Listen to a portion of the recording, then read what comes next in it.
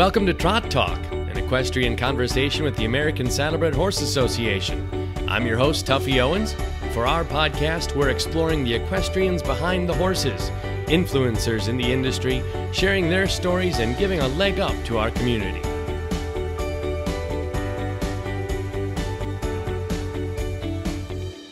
Well, thanks for tuning in to Trot Talk, everybody. We're here at Cardigan Farm. So excited to welcome Carson Kressley as our guest today. Carson, thanks for joining us. Of course, I love to um, talk about anything American Saddlebred, and I love that you came to me. I know we're we're on location. This is our first uh, on location going to someone's farm. Yeah, amazing. Now, I know you're probably really nervous, but have you finally made it now that you're on Trot Talk with Tuffy? I think so. I think so. Well, at least you won't have to work like super hard to work saddlebreds into the conversation today since this is put together by the ASHA. But I mean, how do you get that done? Like, you've ridden horses onto a TV set with Nate Berkus, that interview a long time ago. But how do you kind of always work that in there? Uh, I always try to. I mean, I always think I'm like an evangelist for like saddlebreds because I'm so passionate about them that anytime there's an opportunity, you know, you find a little like, you know, nook or cranny mm-hmm. to work your way in. And I don't know what we were doing on a show. And, and I was like, we could ride a saddlebred on to set. And I don't even tell them it's a saddlebred. I just say, I have a horse or I have a farm, like, come visit. And then once I lure them here or talk them into the horse segment, then I get on set and then I say, well, this is an American saddlebred and they're, you know, America's oldest breed and they're incredible.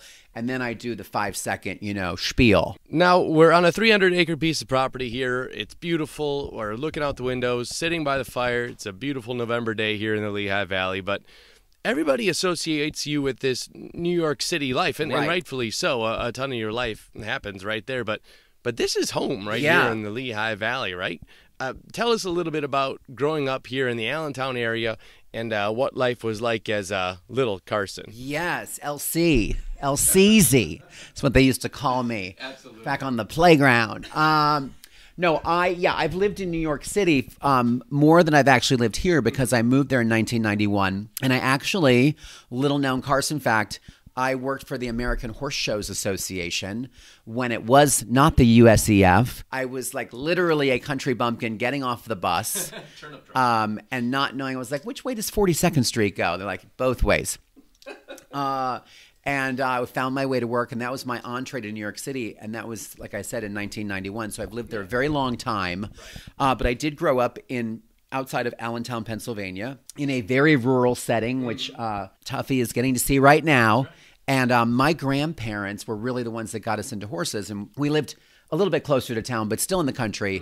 And they had a pony farm. Oh. And um, my grandmother uh, grew up on a working farm.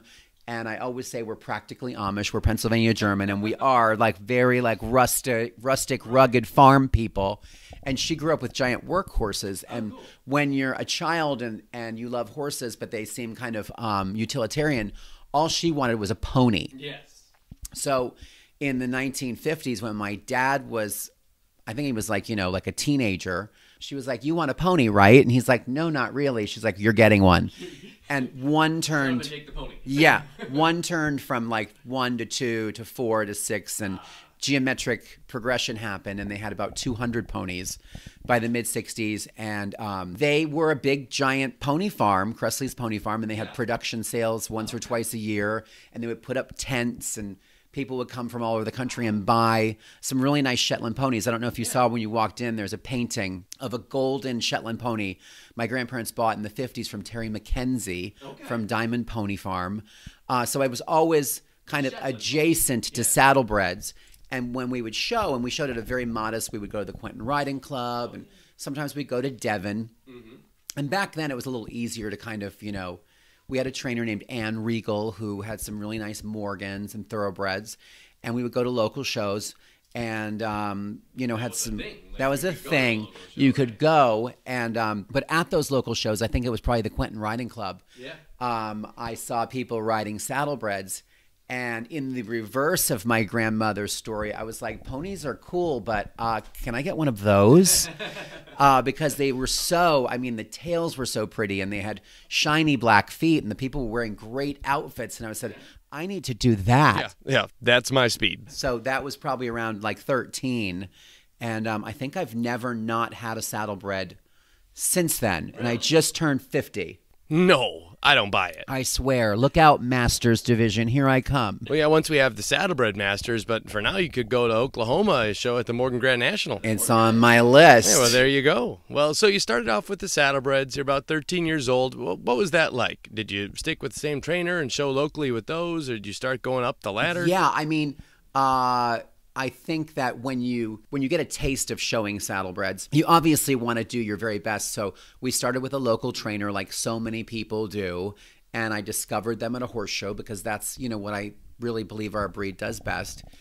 And um, it was actually at a place called Blue Gate Farm, which is about five minutes from here. My grandparents used to own that farm as well, and a saddlebred trainer there named Gail Person. Um, Person's Riding Club in Allentown, PA, started many people um, and that's how we started. And we had funny moments like I remember going to a horse show and all of the buggies falling off the roof of the trailer because we didn't really know what we were doing. You know, some of our outfits were probably crazy and uh, we didn't have the best stock and sometimes they would run away. I had a three gated horse called I've Got It, who definitely did not have it. and, uh, anytime it was and these were the days like in the 80s when there was like 14 or 15 horses in a local junior exhibitor three gated class for riders 15 to 17. and my horse did not canter the second direction. He would just turn around and spin. So I remember just hearing, don't get near that guy. um, so that was my growing up. But you learn and you want to do more. And then we were lucky. There was a lot of saddlebred trainers in Pennsylvania. Um, and we moved our horses to Jimmy Orfanos. Oh yeah, Jimmy. Yeah. And um, he was really just starting out then. And we had some, you know, accidentally very nice horses that we didn't realize we had. And um, went to, you know, bigger horse shows, went to Eastern States, went to Spring Premiere, went to um, Devon, um, those types of places. And then um, had horses with him, had horses with Skip Schenker for like 35 years. Um, and he's a really, he's a master horse person in every regard and then um, Jan Lukens, and I've really I've had horses everywhere. Um, Johnny Jones and Don Harris, and um, Melinda Moore. I'm, I'm sure I'm uh, Merrill Murray, um, everywhere, and um, just always try to have you know nice stock, but also have fun with it and enjoy the process. And we breed some horses here. Um, so yeah, it's supposed to be fun, right? Yeah, exactly. I mean, you got your retirement horses right out there, uh, fight nights down there in a green blanket down at your sister's farm. Now, how did she get into it? Did she did she get into it with you? Yeah, we both, uh, my sister and I, both started riding at Blue Gate Farm together, right five minutes down the road. And um, and she grew up showing ponies as well. She showed them more than I did, and showed roadsters, and uh, you know, was at the Syracuse Horse Show like in nineteen in the seventies. Um, I'm much too young for that, um, but um, so we've been doing it as a family for always. Well, it's such a great family thing, and I mean, we can we can see her farm right right down the hill there. Um, but but what what were you like as a kid? Uh, did you have other hobbies other than horses and the ponies and all that? No, not really. I was pretty obsessed. Um, I think by the time I was like 13, my routine was go to school, try not to get beat up, um, insert sad ABC after school special here. And um, and then I would come home and I would go to the barn. There used to be like a Black Beauty show on TV in the afternoons, and I would watch that. And uh, and then I would go um, do horse stuff. I, I can distinctly remember like cutting school, which is don't do it, kids, stay in school, and driving in my um, little red convertible with La Isla Bonita by Ma- Madonna playing on my cassette deck um, to leave early and go to the barn. And we really did everything ourselves back then. Like it was a boarding place, and there was a trainer, but we you know i would be putting stretchies on and like trotting up a hill to the ring like by myself like incredibly dangerous things that you shouldn't be doing but it was you know it was the 80s we didn't know any better there would be days where like i think it'd be really fun if we tried to switch mounts while we line up next to each other. Like not getting on the ground, but just Yeah, going and from just- one horse to the other. stuff like that. But we all lived and here we are. Well, yeah, for for the people that are still here, I mean, the rest of them, we don't we don't know where those bodies are. Sure. Buried. Yeah, but the AHSA job now USEF, you you graduate college, go right to work at the AHSA. Is was it a way to get to New York? Yeah, yeah. I had a friend, and she'd actually um, ridden with Jan Lukens. Her name was Lori Drews, Okay. and she was working at the American Horse Shows Association and kind of overseeing all the saddlebred, Hackney, Morgan disciplines. She was having a baby and was going to be leaving her job. And I was like, wait a minute, that job's in New York City, right? And I, I know all about horses because at that point I had been showing for a long time. And um, yeah, I graduated like May 5th, 1991. And like May 6th, I moved to New York City. So where did you go to college? I went to Gettysburg College here in Pennsylvania. I have a degree in finance. I have no idea. I don't even know how to like work QuickBooks, but I have a degree in finance and fine art. Oh, in fine art. Okay, Yeah. double major. I like Yeah. that. Well, well, now we know where little Carson, Elsie, came from. Uh, when we come back from our commercial break, we'll talk a little bit more about what you're doing now. Yeah. Some of the horses you have, things you're excited about going forward.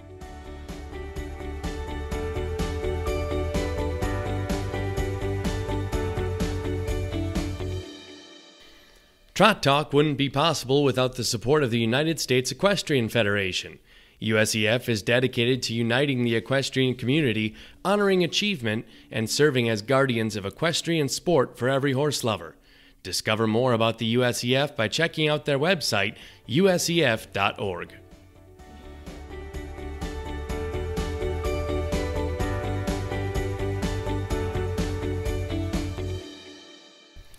Well, welcome back to Trot Talk here with Carson Kressley at Cardigan Farm, sitting in this beautiful little sitting area. Uh, the formal dining room's right over there, but uh, but we do have a beautiful view here. I think we're in the breakfast nook. Oh, this is the breakfast nook. If this were a game of Clue, we'd be in the breakfast nook with Colonel Mustard. Well, tell us a little bit about what you're currently doing. Uh, things you can talk about here, like current business Oh, involvements, other things like that. Well, I mean, we're recording this holiday season 2019, and um, I have a new show on Freeform, which used to be ABC Family, and I was like, "Are you sure you want me?" um, and it's called Wrap Battle. Wrap battle. and uh, I collaborated collaborated with this producer before. We did a couple other shows called Skin Wars and Window Warriors. We um, this same guy Michael Levitt and I um, were talking about this, and there were seventy five baking shows on TV, and we're like, why is there not something about like either like holiday decor or something? And he's like, well, what about gift wrapping? I was like, I'm down.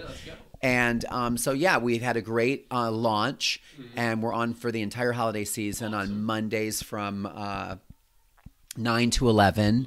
So that's December. And then in January and the new year in 2020, our 12th season of RuPaul's Drag Race will air. Twelve seasons. Wow. Yeah, yeah. Um, 12 seasons and like 17 Emmys. Um, there's one right there.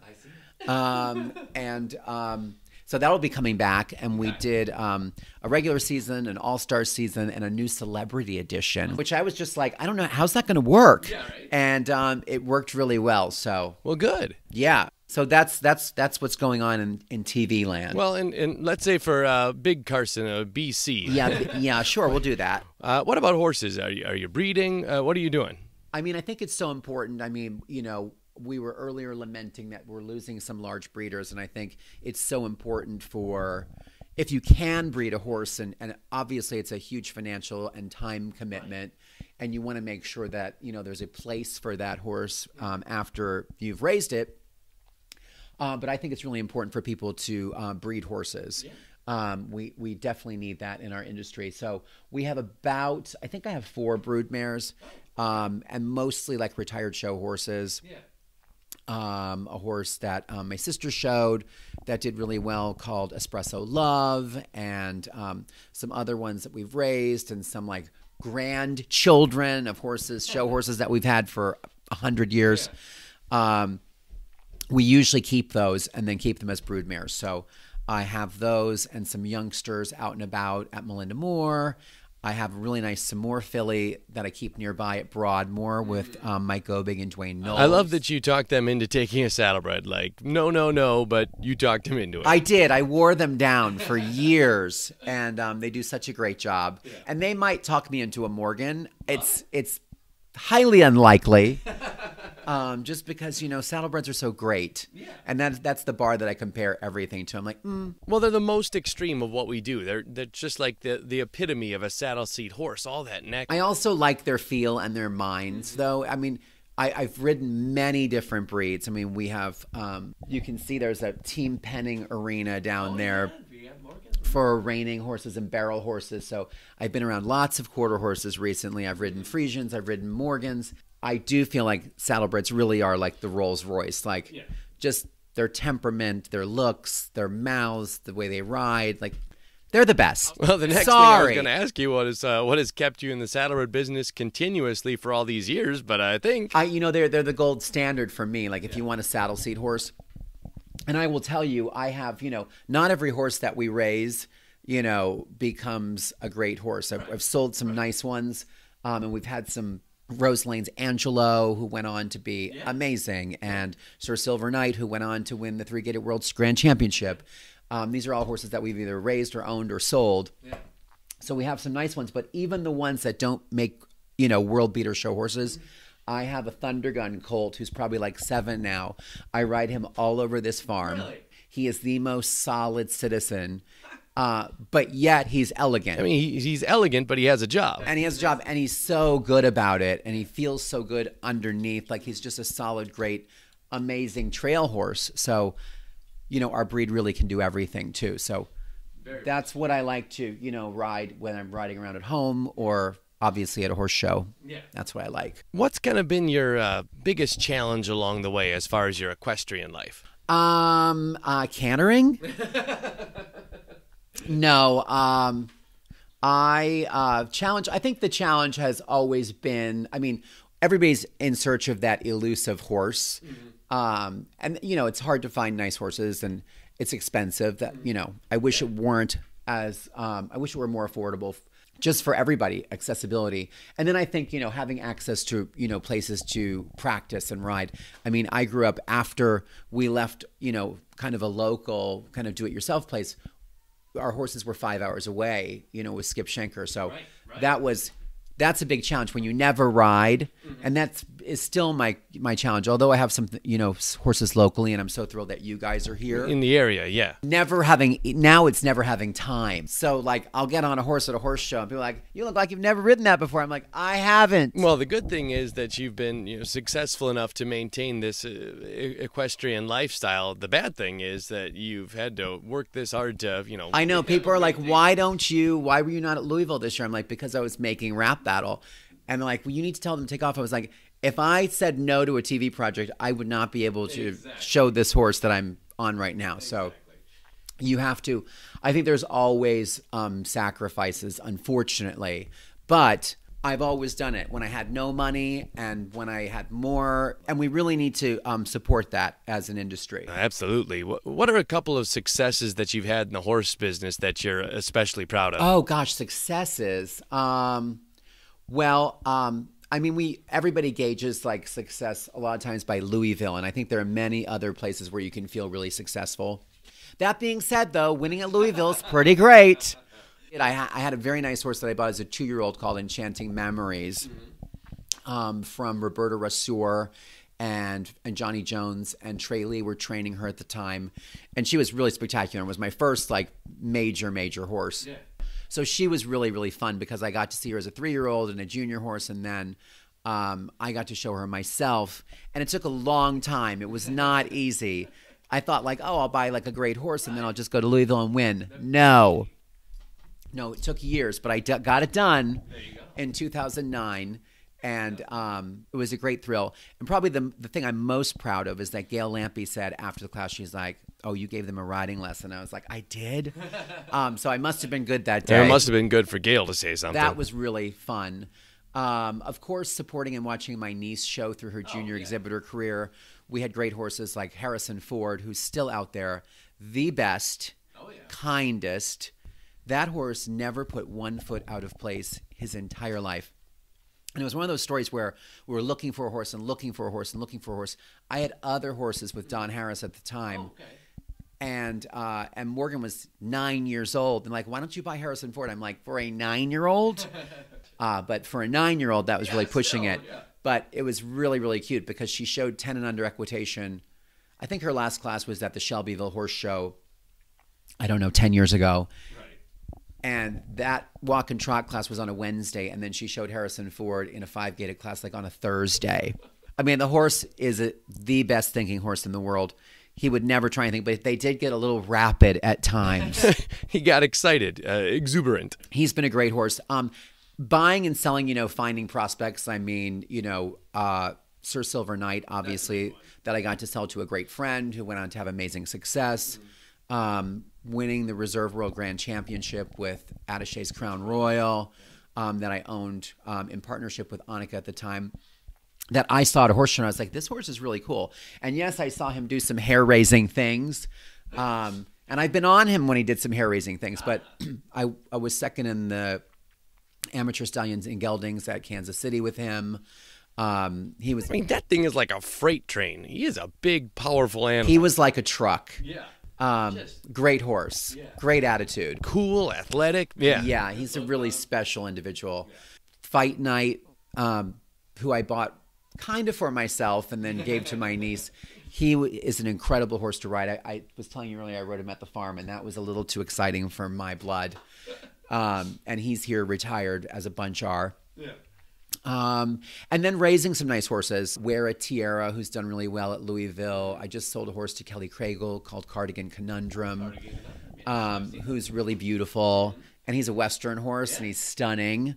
Um, and um, we raised a horse that won um, the Park Pleasure Stake at Kansas City with Robert Gardner last year. So anytime something you raise actually goes to a big horse show and wins, I don't even care what class it is. It's quite thrilling because you just don't imagine that something that came from here, from very humble beginnings, would go to a big horse show and get a you know a great prize. So that's fun. Yeah, I think those are some of the highlights. Well, yeah, that was a that was a pretty good highlight list. Uh, well, when we come back, we're going to talk a little bit more about going forward in the horse business and what you see as the future for the American Saddlebred business. Be right back with Carson Kressley.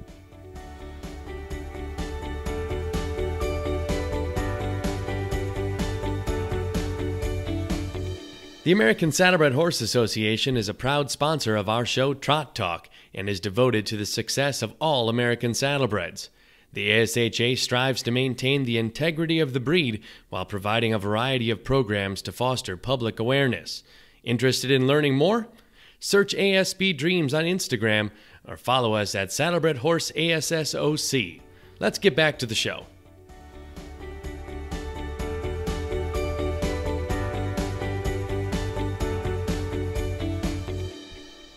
Well, welcome back to Trot Talk here with Carson Kressley, a Cardigan Farm, talking a little bit about going forward in the American Saddlebred business. Uh, what is something that you haven't accomplished yet that you've always wanted to or you'd like to moving forward? Oh, well, just uh, I would love to. I would love to win all three of the gentlemen classes at Louisville. That is has always been my goal. I've been second in the walk trot class many times. I've been second in the fine harness class. I think once or twice. Well, now for the fine harness class, you get money for being second. Uh, Lana and Daryl Gilpin for Larry Gilpin, oh, they get to give like do that? five hundred dollars for the reserve world champion in amateur gentlemen's fine harness. You just get well, here's some money and a trophy. Well, that'll get me yeah, there. Yeah, now you got to be second, but I, I, feel like you might still be shooting for the blue ribbon. I, I, think I would like to win that, so I have a plan for next year. So, oh, really? okay. yeah, if you're a fine harness driver, look out, because I don't know what I'm doing. No, I, I do, I Perfect. do. Don't worry, I'm not dangerous. I swear.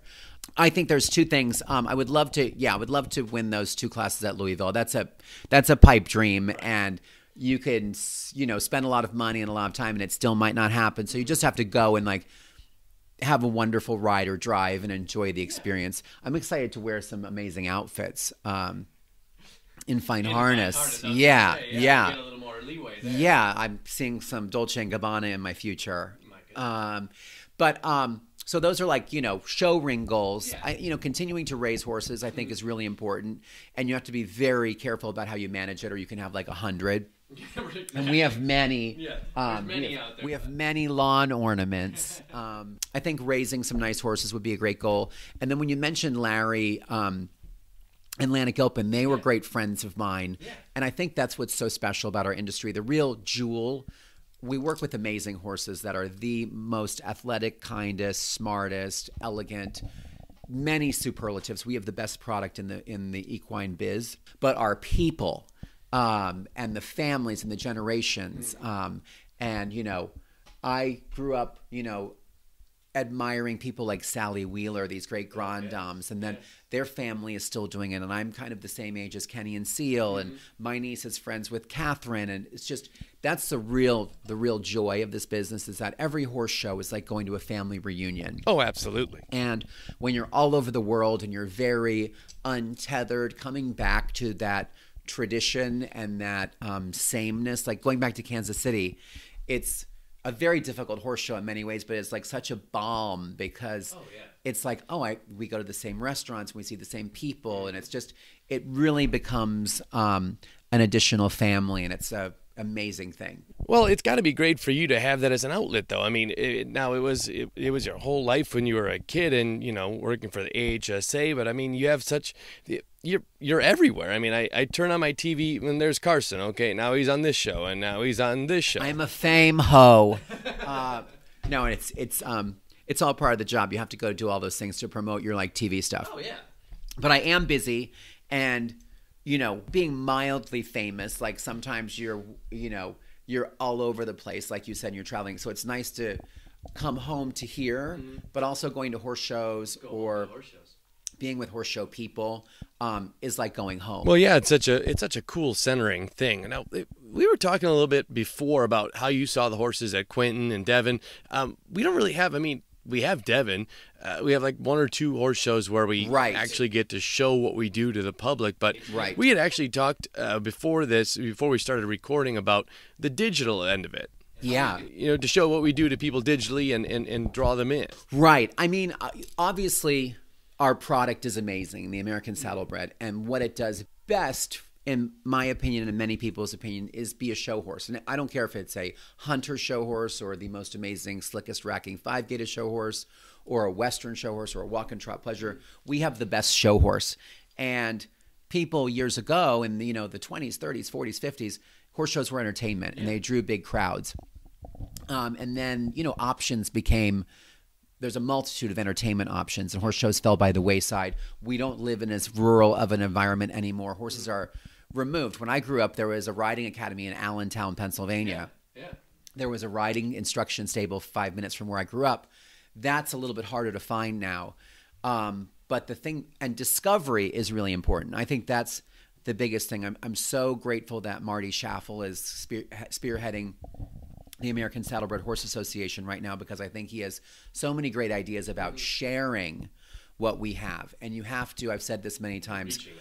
Yeah, yeah, just exposure, exposure, exposure. Because unless you see it, you don't know it exists, and unless you see it, you don't know that you want it. You you know, there's a Ralph Lauren coat that I wore today. I had to have it, but if I didn't see it in the store in the window, I didn't know that I wanted it because it's not a utility item. And our horses are a, a, a leisure item, an, an extra money item, a luxury item, a fun item, a toy. Mm-hmm. And we need to keep putting them in the window because when people see them, they cannot help but be arrested and say, oh my gosh, what is that? I want one of those. And that was my experience when I first saw them when I was, you know, 10 years old mm-hmm. at the Quentin Riding Club in Lebanon, Pennsylvania. Now with digital media, even though we have smaller audiences at our horse shows, uh, we can still share our horses with as many people all over the world through Instagram and Facebook and YouTube and broadcasting horse shows. And horse shows might be boring, and that has been, you know, a criticism, but we can still share the beauty and the athleticism and get people interested because once you get interested and you ride them and you get a taste of the competition, most people want to do that. Yeah, it's a lot more exciting when you're participating. Exactly. and maybe we're not a spectator sport anymore, but we have the eyes of the world that we can show our amazing breed. And nothing looks better on social media than a saddlebred. I mean, come on. Uh, what advice would you give to you know kids aging out, going off to college? They they want to start their career, but they they want to kind of like stay attached to it. Right. What I mean, what I mean, you did. Right. Yeah, I was really lucky, even when I worked in New York City, and that was very challenging because, again, there's no place to ride. Um, I would go, you know, two hours on the train up to Jan's, to Jan Lukens in Ravenna, New York. But I always fortunately was able to have a show horse even while I was doing that Yeah. because I had parents who gave me money. um, that's how that happened. Um, because I wouldn't have been able to really do it. Um, but there's so many things. Just being around saddlebred horses is a connector, and we're all such a big family. So Jillian Schaefer, for example, who used to own Harrison Ford, she reached out to me on social media. She's living um, in Seattle, and she was like, "I would love to ride." I was like, "Oh my gosh, go, you have to go to Deer Door Stables. They're right there in Wash in Oregon, Molalla, Oregon, and um, they will, you know." She's like, "Will they, you know, let me ride?" I was like. We all love our horses so much that Yeah. Just say the words Harrison Ford, and Right. you'll be good. they will love to have you. And same thing around here. Like one of um, uh, one of the writers for Saddle and Bridle is from this town. I was like, come over and ride. Um, I have horses. I have an arena. Like, have at it. So I think that familial atmosphere. No matter where you live, if if you have access to a saddlebred facility, which is a real challenge, and that's a problem we need to work on, people will welcome you with open arms, and you can just be around them and trail ride or ride at home, take a riding lesson, uh, keep going to horse shows as your, you know, show, right? Yes. make it your vacation. I mean, I would, you know, be shooting all week in California and I would go to like the Morgan Medallion in Santa Barbara just so I could smell like shavings and horse sweat and see a tack room. Well, and you got to go to Santa Barbara, which is Not bad. Yeah, it's not bad. Yeah, I announced that horse show for a few years, and then it conflicted with another show. They they moved their dates, and it was one of the saddest professional things I ever had to do. Not going to Santa Barbara. Yes, it was terrible. Not going to Santa Barbara. Well, well, they moved it to Vegas now, anyway. So Right, which is also fun. which is yeah, that that that's fun in a different way. yeah, exactly. I've been to that too because again, I'm that loser that like when I'm like either working or like whatever, I'll like go to a horse show. Like I can't. Ha- it's a busman's holiday. I can't help it. I was filming a project in North Carolina, and I went to the North Carolina State Fair. Just to like smell horses and be around the atmosphere. Well, that's exactly it. Just you know, just stay involved. Well, uh, we have stolen an idea from uh, every other podcast I've ever heard, which is the rapid fire, the lightning round questions. Okay. Uh, you didn't hear them ahead of time. I did. So here we go. We asked them of all of our guests we've had so far. Um, greatest horse you've ever seen in person, any breed. Uh, in person, Imperator. Imperator. Yeah, so elegant. Oh, so beautiful. Beautiful. Slow get a hole in the ground. Greatest horse you've ever ridden or trained. Uh, I think the greatest horse I've ridden. Oh gosh, that's according to Lynn. According to Lynn, that yeah, that'd be an awesome one. That was a pretty spectacular ride. Yeah. Yeah. Very, very fun. All right, the three people to dinner. If you could bring three people to dinner, dead or alive, who would they be? Oh gosh, uh, there's so again, there's so many to choose from. Doesn't have to Let's let's make it horse people though. I mean, um, Tom and Donna Moore would certainly keep it interesting and spicy.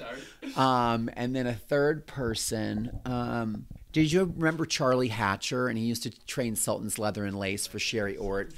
And he was like a really old school, like old fashioned horseman from like the East Coast, old school. yeah.